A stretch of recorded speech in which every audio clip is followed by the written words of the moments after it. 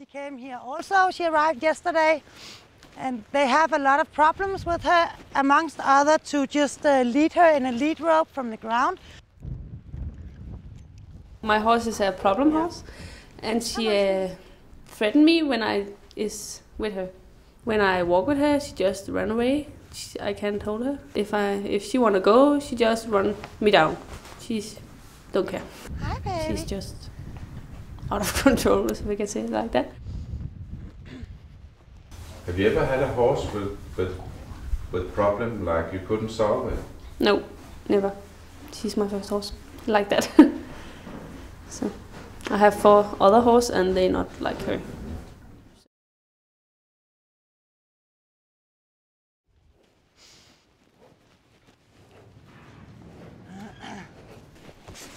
Listen, if you stand still, I can take you closer. Ah! Whoa! Easy. It's very clear that she has a pattern of just taking over the control and that she knows she's stronger and just she can't. She knows that she just can take the lead rope and run and that we can't hold her. Yeah, that's a shame. I got her when about a year ago, and she have to be my show jumper horse. I would use her to competition and ride her a lot of competition. uh, but when she's like that, I can't do it. She's too dangerous to take with me. So.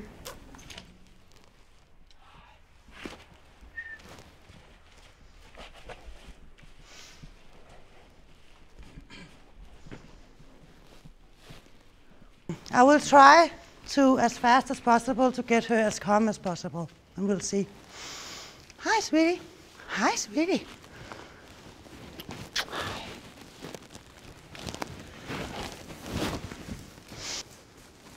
She's making a little head shakings, and always when horses are shaking their head, it's always their way of telling us that they are the one who's being dominating. So she's telling me I am a leader horse out in my old own herd because I'm shaking my head. yeah. She's lifting her tail also and she's running with her head lifted up high. It's her way of telling me that her status status in the flock is she's a leader mare. The leader horses are always the hardest one to get to accept a human being as their leader. But, um, but they will all do it eventually. Good girl.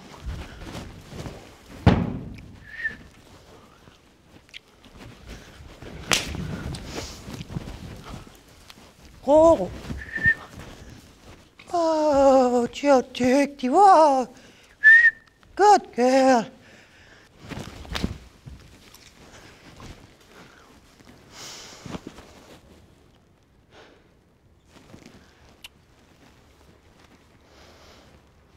Good girl. Already she's understanding and already she's licking and chewing. It's very good. Come on, baby. Oh, good girl.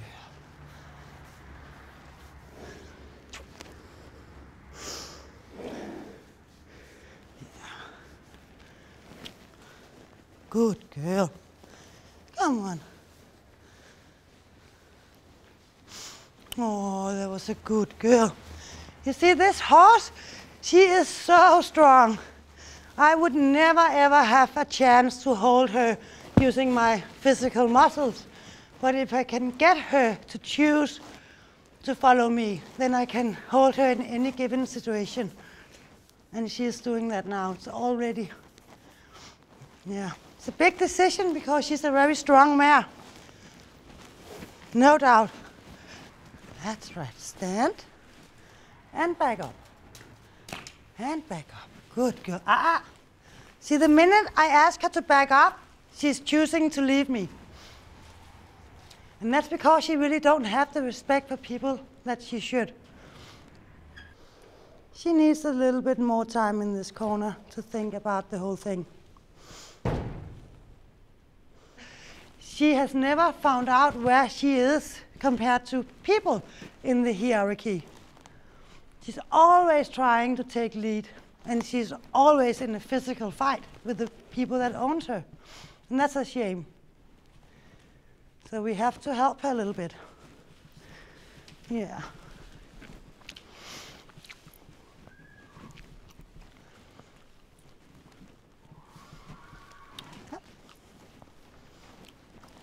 Good girl. Good girl. Yeah. Such a good girl. And stand. Good. Just stand. Yeah. Whenever a horse does something that I don't want it to do, I will back it up. That is my consequence in any given situation, no matter if I'm riding a horse or if I'm working with it from the ground. And I do that because this makes sense for the horse. They understand this. Horses in nature never walk around walking backwards. They only back up when they move for a more dominant, dominant horse. So in nature, the one horse that makes the other horse walk backwards is the one in charge. So by me asking a horse to walk backwards a few steps makes the horse, if I, if I get the horse to do it, makes the horse see that I'm the leader horse. So they understand it immediately. Come on, back it up. And she refuses. And of course, the, the horses that are in control in their natural life don't want to back up for anybody. They're the ones making other horses back up. Good girl. That's right. Come on, let's walk. Let's walk. Good girl. Let's walk. yeah, now she's beginning to give me a little good girl, submissive. Yeah, yeah.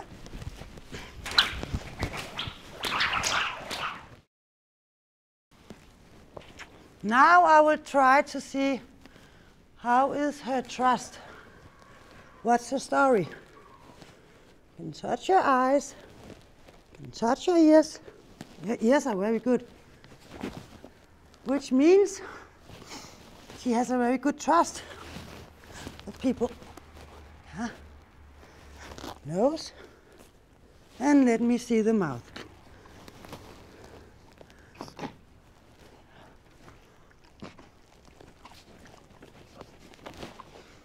So this horse hasn't been hit by people because uh, her ears are very good. So she's not afraid because I can touch her ears. So she just don't want to listen to me. She don't want to respect when I'm telling her to stand. Good girl. Ah. She just don't want to respect me. She knows what I'm asking for. And she's not giving it to me, so now I'm just going to leave her for a little bit longer. Make her think about it.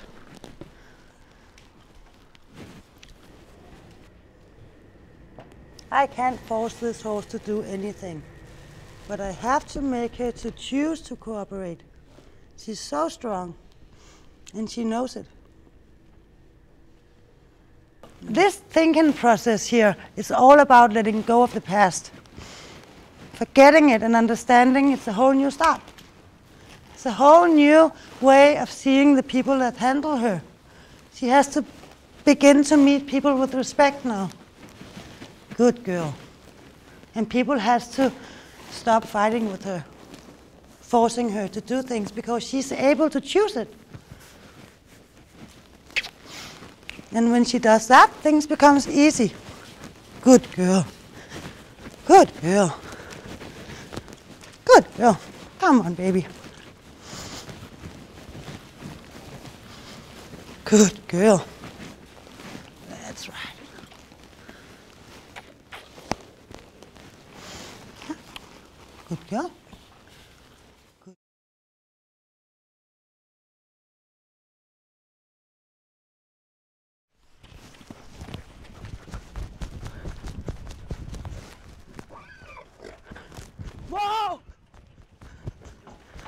This is the second day I work with this mare, and um, and she has so much experiences with just breaking through. She has to be trained in having some respect for me as a person to just stay with me, because everything in her mind is telling her right now to, to just take the leadership away from people and just take over the control and just breaking through and running away. But she remembers my training. Easy, girl. Easy. But it has been going very fast. I mean, she's only been trained for one day, except for right now. So she's testing my leadership. Can it really be true that humans are more strong than a horse, she thinks, because she has a whole life experience of being the stronger one. And that's the pattern we have to break to get her to become an easy horse. Yeah. Stand. Good girl. She remembers. It's very nice. Good girl. Good girl. Come on. And stand. And that was good. Mm.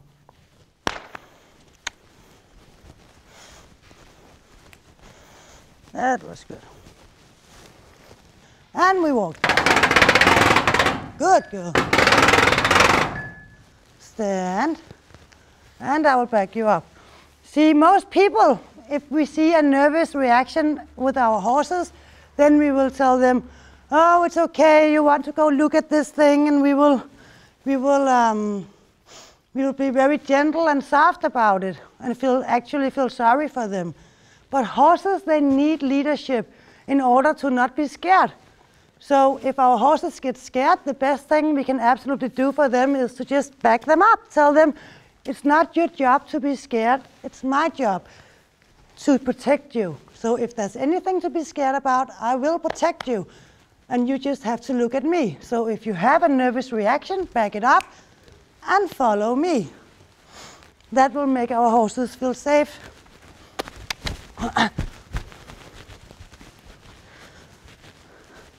In nature, horses are never frightened. If something frightens the horses, then they will all look up at the leader horse, and only when the leader horse begins to run or flee, then all the horses will. And that's exact same thing I want with any horse I'm training. I want the horses, if something scares them, to look up at me, and if I'm not nervous, then they have to stay calm. Come. And especially this strong mare I need for her to definitely not be afraid. Because it's not her natural behavior, it's only something that she does to dominate people. Good girl. If she jumps, bucks, or rears up right now, then it's okay, then that's her right, because I'm asking her a question and she's free to answer the way she wants. I don't want her to rear up a buck. I want her to stand still and to accept it. But she is free when I'm training her, so she has the right to walk away and go to her corner. And back up for me. Good girl. Yeah, it's right. It's okay. Come on, try it again. Good girl. She has the right to say no. And I want to give her that right because the, the second she agrees to do this, then I know it's for real. Then I know I can trust her. And then I know that she is okay with being ridden. And I don't want to ride a horse that hasn't chosen or accepted a rider. I would rather have a horse that is calm and has completely accepted. Still saying no. I'll leave her for a while.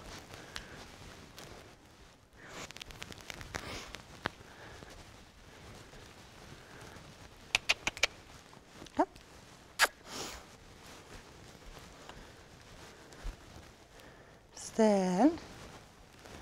Good girl. Good girl. Good girl. Good girl.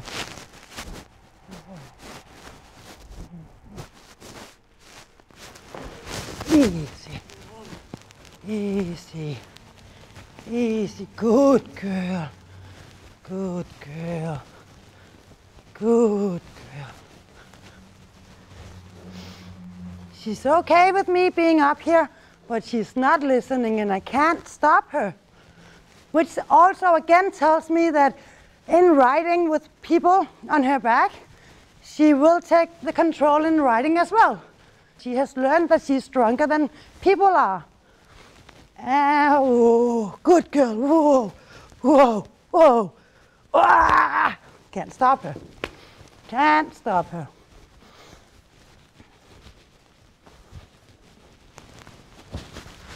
Can't stop her. She's a machine and I can't stop her. I never use a bit because I feel like it's too big of a compromise. Really, I feel it's an illusion because if you can't control your horse, then a bit is not going to help you anyways. A bit is going to create pain in the horse's mouth in case it doesn't listen and you are in need of really using it. But, but it's not going to help you in real danger. The horse will just take over and run anyway through the pain. But if you get the horse to choose to listen to you, then you can control them in anything. And because there's no bit in this bridle, then I feel like I can communicate in a much better way with the horse. I can make a simple question like this, please stop for me. If she doesn't, I can do it a little harder, please stop. And if she really doesn't, then I will have to train her and say, hey, I mean stop. But still, even though I'm a little harsh right now, then she won't feel she will feel like a little shock reaction, but I can't break anything. And a lot of horses think, especially if they have, they have this pattern of being so strong as this girl, then, then she have felt the pain of the bit many times. Good girl. I can steer her, but I can't seem to stop her. And I feel like Every time I put a pressure, just a little question to stop her, then she begins to move faster. And now she stops, so that was good.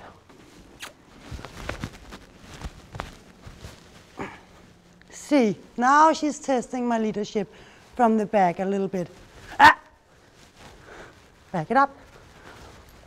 Good girl, good girl. So I'm telling her the same deal goes from her back. I am not going to hit her, scream at her, or do anything else but the thing I've told her from the ground.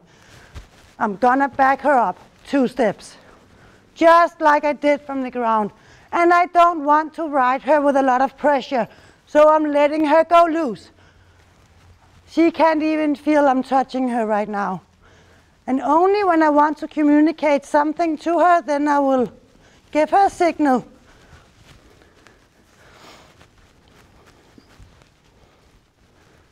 And as you can see, she will begin to lick and chew even when I'm riding her, just like she did from the ground. She will talk back to me. She will give me her acceptance. And whoa, stand. Stand, good girl, good girl, good girl. Need to be able to be alive on your back. Good girl. Such a good girl. I will advise the owners of this horse to let this horse stay here for a little longer because I can see she understands the training, but there is a bit of a, there's still a bit more work to do before this horse is completely done. But she has moved a long way if you think about this is her second day in training. I mean, then I can't ask for any more than what she's giving me.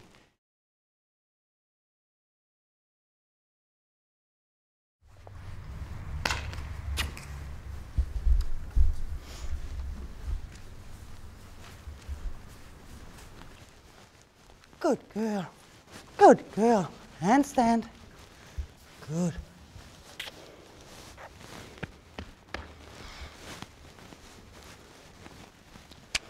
Right? Good girl.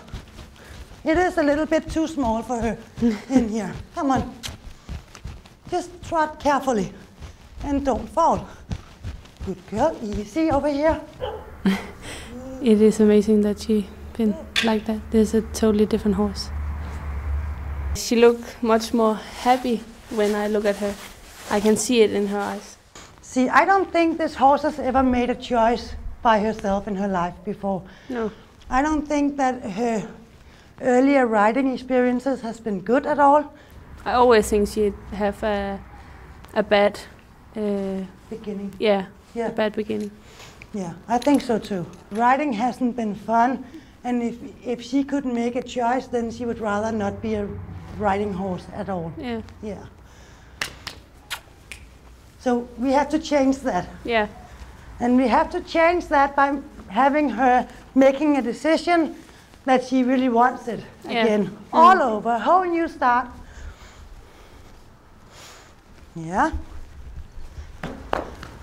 Now it's your turn. Okay. Come in here. Believe that she will follow you. Okay. Super. Try it.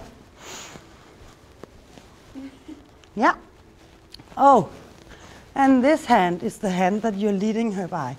Just imagine you have an, invisi- an, an invisible lead rope hanging here. Okay, so you will walk that way. Yep. Very good.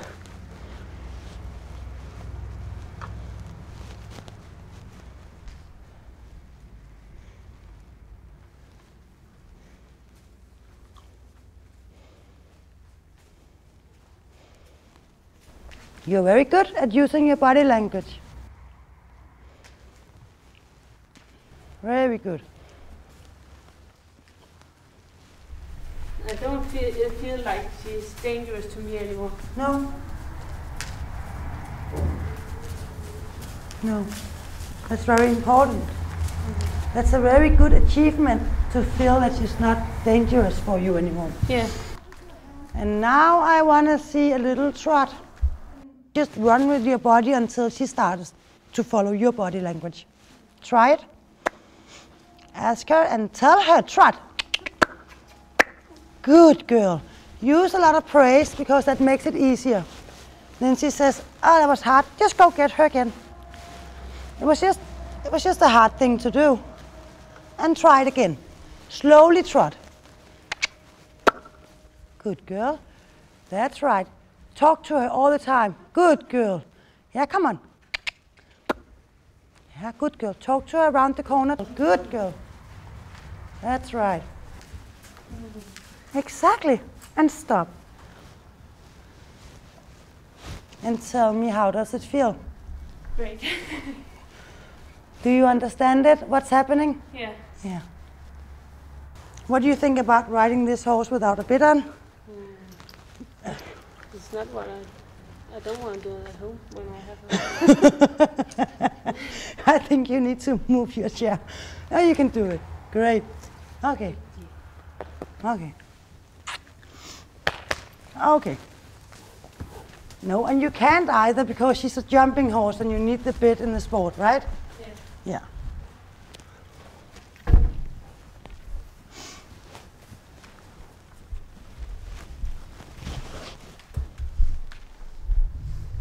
What do you feel? Do you feel like she is relaxed? Yeah, a lot. A lot. It's a much more uh, relaxed horse, Yeah. and that's very useful for me. How was it for you to ride her without a bit in? No, it's what it was. It was uh, different because when I ride her at home, I should hold her like this Yeah. Whole time because then if I not do it, she just run away, Yeah. and that's not I. And today you could let go of your reins and let your horse relax. Yeah, and she just walk with me and not And Go. she listens to you. yeah.